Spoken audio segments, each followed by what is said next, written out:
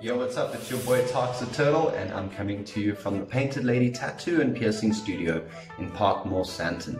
And you're watching Permanently Painted.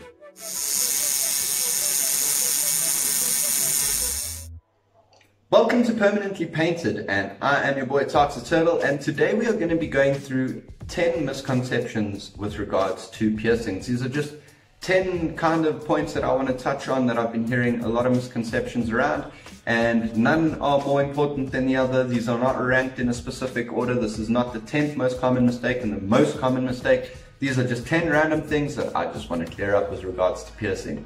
So without further ado, let's get into it. Number one, we are talking about not chasing the money. Do not think about the money. 90% of the time when someone phones me, it's how much is this piercing? Okay, cool, thanks, bye. No questions about the pain, no questions about the healing process, no question about the jewelry used, no question about the procedure, nothing like that. They just want to know how much it is. And then I assume when they don't phone me back, it's because they found someone cheaper.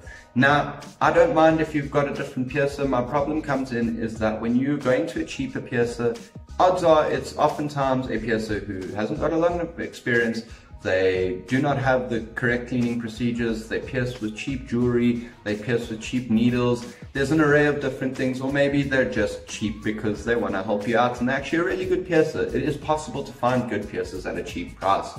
This also brings us to the flip side. Don't go to a piercer just because they're expensive. Sometimes the shop rent is just really high. Sometimes the dude's just super stingy and just wants lots of money. So what you need to do is you need to hop onto a piercer who you think you want to get pierced. That's Instagram or websites or Facebook or wherever it is they put their portfolio.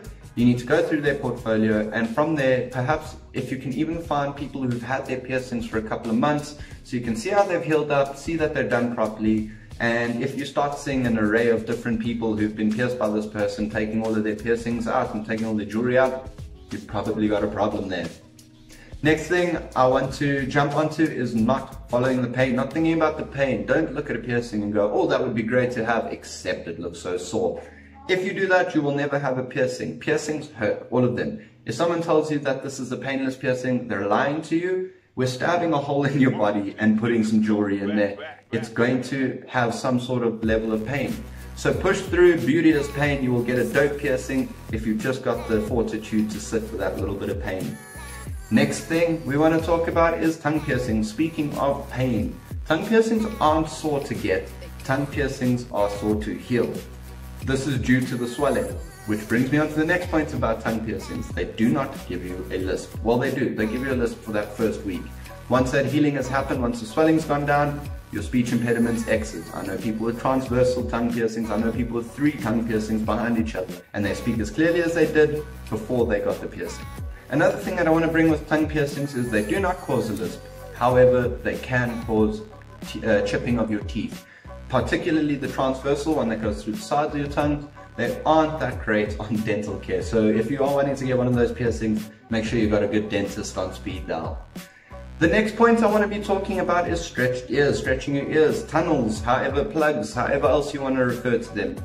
Don't do this at home. That's where I want to start. Please do not do this at home, kids it will be what your mom said it's going to be and it will be an irreversible procedure. You will have those giant things that you have to go and get plastic surgery to close up if you want to close in one day.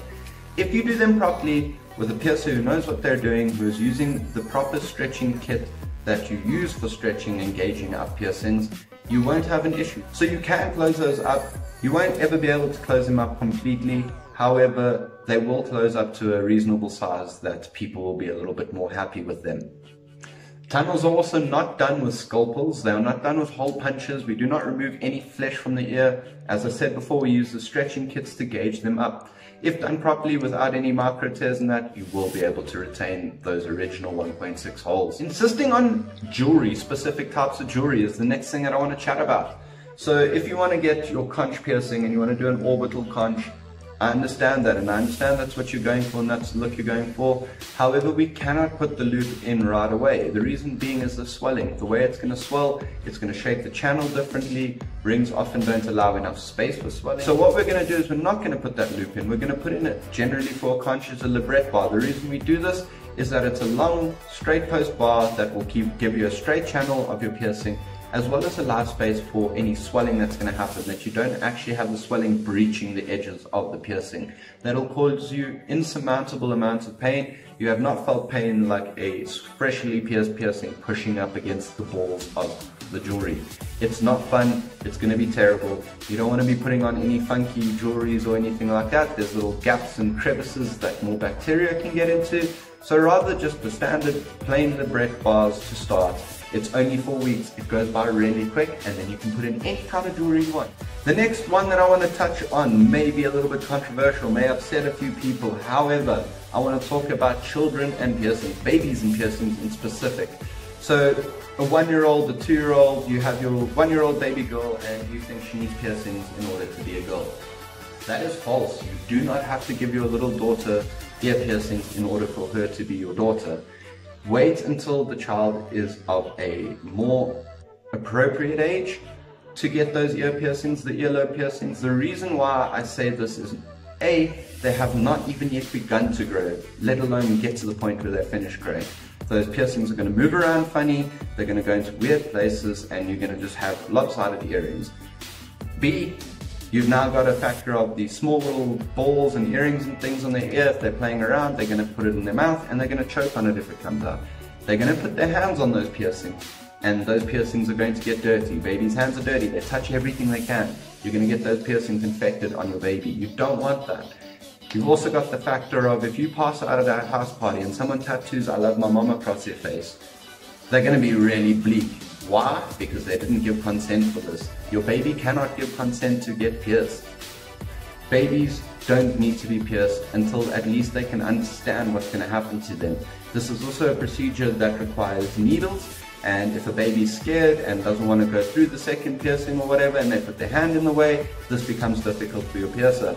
Next thing is you're probably not going to find a piercer that is going to want to pierce your baby and so you're probably going to have to go to someone who's using a piercing gun and then you're just going to damage your baby's ears, which is once again not a good idea. What I want to talk about is, well, the next four things I'm going to talk about we have done before. You can check in the description below for piercing aftercare, the piercing aftercare video, where I cover the next four points. So I'm just going to go through them briefly. Changing of jewelry. Do not change the jewelry sooner than your piercer tells you to.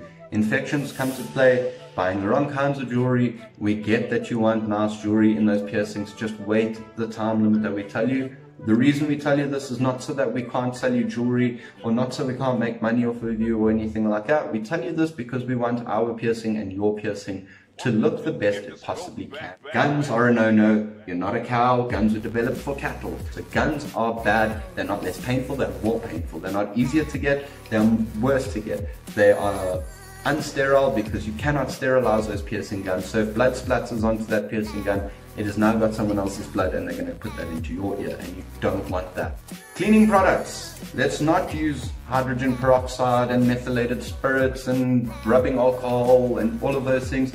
They're too harsh on your piercing. And the last one, and this is another reason why we don't put the rings in your conch, is turning your piercings. It's going to extend your healing process and it's going to damage that channel. Don't turn your piercings, twist them, turn them around and twirl them. Leave them be so that they can heal up nicely. You don't want to break down your the skin that is already being formed because that is going to then cause keloids and more problems. If you've got any questions or wondering about anything about piercings or tattoos, drop it down in the comments below, hit me up on a DM. I'm willing to answer all of those questions as soon as I can. And uh, if you are finding these videos helpful, please don't forget to like, subscribe, share, whatever platform you may be on, just hit that button.